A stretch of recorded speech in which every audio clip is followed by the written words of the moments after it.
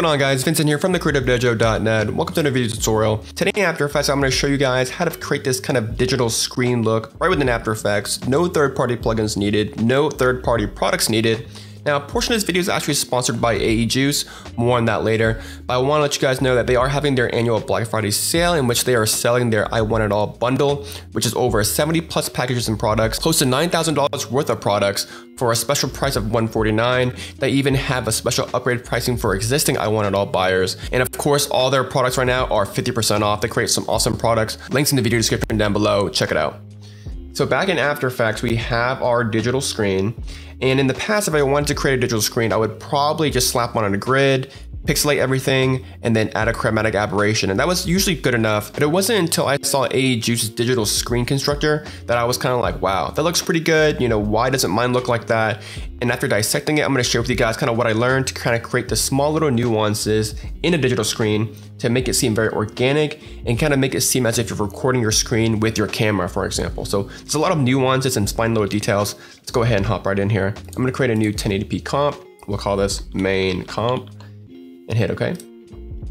And at this point, you want to drag in your media asset, whether it's your video, your photo, your screenshot, your screen recording, whatever it is, just make it a little bit bigger if possible so we have some room to work with. Let's go ahead and create a camera. I'm going to create a 35 millimeter camera, doesn't really matter. Enable depth of field, hit OK. And I'm going to make sure that my switches and modes are selected and go ahead and make sure that my layer is a 3D layer for my digital asset.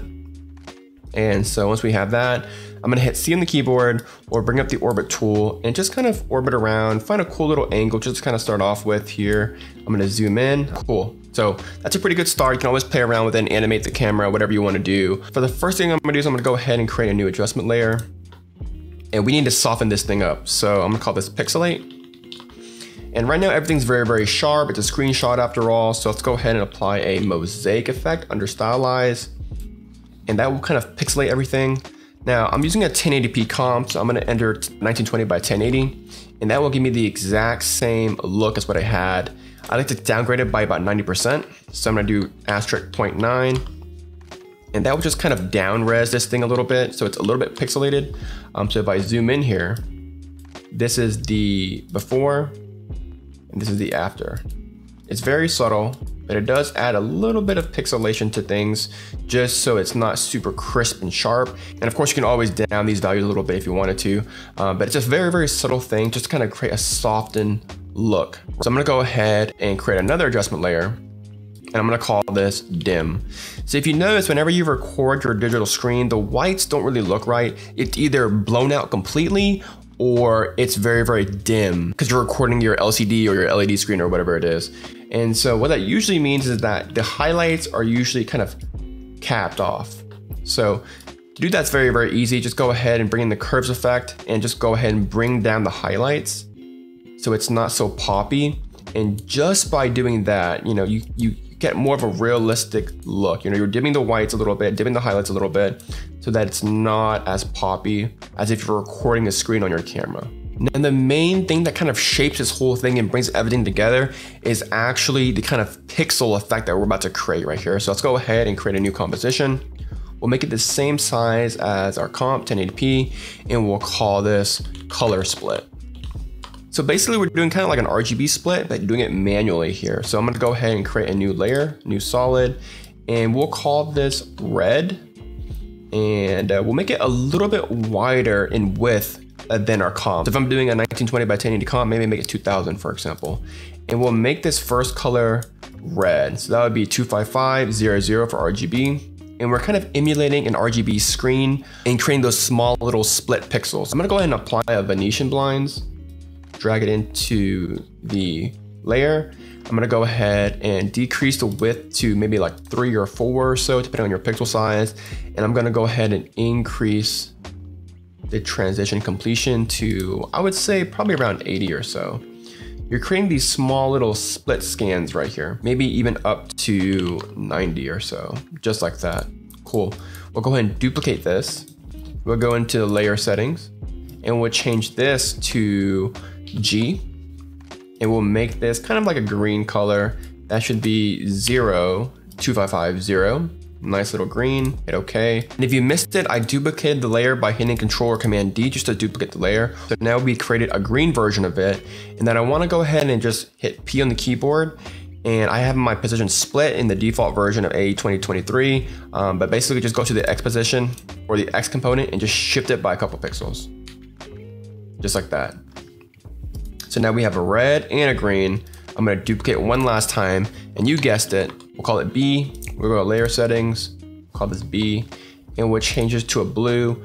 Now, you could technically do two for five in the blue, but I think if you kind of shift it to a little bit more of a cyan, it looks a little bit better in my opinion. So somewhere around here, I think gives a better look. Hit P on the keyboard again, and we're gonna shift this just a little bit more. You're kind of creating a split RGB look. So it's just kind of like a pixel screen right here.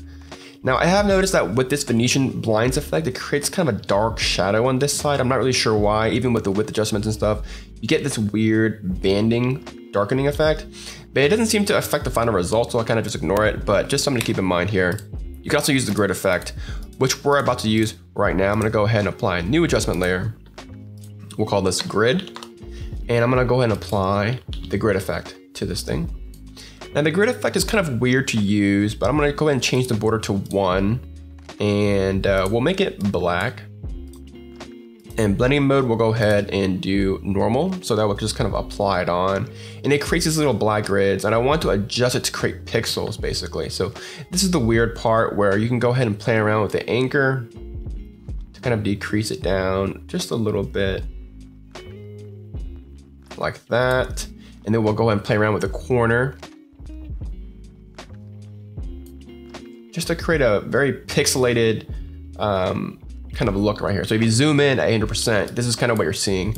And this whole effect drives everything. So if you wanted to create larger pixels to get a really pixelated effect, like you can also do this with this effect and just kind of play around with their values and everything. We've created these really nice, these RGB pixels right here. And so we'll go back to the main comp and we'll go ahead and drag in our color split into everything, probably above the dim and as you can see, our color split black doesn't look too hot. So we'll go ahead and um, play around with this. You see that we have our X lines. We'll go ahead and bring it all in here. Get it really close to the anchor. So 962 would probably work. There we go. And we'll go back here. And so now we have something like this. I'm gonna go ahead and hit F4 or toggle the modes and go ahead and we'll apply it as an overlay. That will just kind of give us the kind of texture that we want. We'll go ahead and hit T on the keyboard, kind of lower down the opacity just a little bit so we get some nice texture. And we'll go ahead and duplicate this again one more time. And we'll change this blending mode to like a, I found that color dodge works well, color works well, hard light works well. Um, but a lot of the dodges work pretty well and we'll bring the opacity back up here. Back in the grid comp, I changed the border to one and a feather of 1.5 or so. And that will kind of soften the look just a little bit. And if you zoom in here, we get this really nice kind of square pixel effect. We get some kind of RGB split around the edges of all of our pixels. So you can go into the color split and mess around with it. And if you notice, if we go in here and we change the blending mode to let's say color, you can get a really different result. Same with like hard light. You can get a lot of different interesting results in the different types of screens that you want, whether it's analog or digital, just by playing around with the different blending modes and get pretty interesting looks. Let's stick to the classic color dodge for now. I it looks okay. So we have our look. It looks a little bit tinted a little bit. So let's go ahead and apply a correction. Let's go to adjustment layer. We'll call this CC for color correction. And let's go ahead and apply curves. Bring in there and maybe even a tint effect and bring that in there turn this off for now. And so if you look at most screens, they kind of have a blue tint to it. I mean, they're known for blue light. And so we can do this by kind of increasing the blues just a little bit in the highlights. And that way you kind of get that blue look that everyone's trying to avoid with their blue light glasses and whatnot. Um, so kind of increase the blues just a little bit so we get an interesting look. And you can always play around with the different channels. I kind of like to bring the greens down just a little bit. Um, so now it looks more blue instead of kind of like this weird green tint, just like that. And you can play around with the contrast and everything. Um, kind of pump it up just a little bit. And then I would like to tint it just a little bit as well, maybe by like 5% or so. So it's not too saturated. So before and after. The last finishing touch is the chromatic aberration. I'm gonna go ahead and create a new adjustment layer and we will call this chromatic aberration. And if you guys aren't aware, there is kind of like a native chromatic aberration effect under immersive video and it's called VR chromatic aberrations. Drag that in. I'm gonna go ahead and change the aberration red to like two, maybe aberration to like two, and just kind of zoom in and you can tweak to your heart's content. I kind of like to add a little bit of blue so it's a little bit more obvious and I don't like the green so I kind of tone that back just a little bit and so we have something like this, kind of a subtle red and blue or kind of like a bright cyan look. And that will kind of get things kind of a nice little distortion that you kind of want in your chromatic aberrations. And you still get a nice kind of color split in your pixels from our color split pre-comps. We can go into the camera, we can go to the camera options and depth of field, we can go ahead and play around with that. We'll go ahead and crank up the aperture to like 18 or so, and then we'll play around with the focus distance kind of bring it in and adjust it just where we kind of want things in focus. We can always crank this up just a little bit more and adjust the focus distance.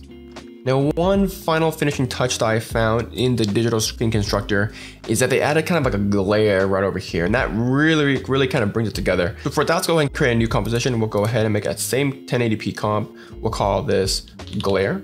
Hit OK.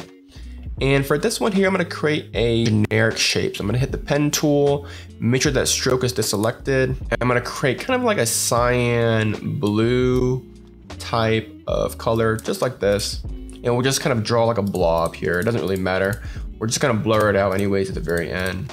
But kind of create a blob like that. We'll go ahead and click away and we'll go ahead and create kind of like a green look just like this and we'll go ahead and maybe create a different shape. Make sure that the thing's selected so we can create a new shape. And then we'll go ahead and create one last shape. And this is gonna be kind of like a warm sun glare. So maybe like a yellow or a warm orange. Just something to kind of give it that natural light.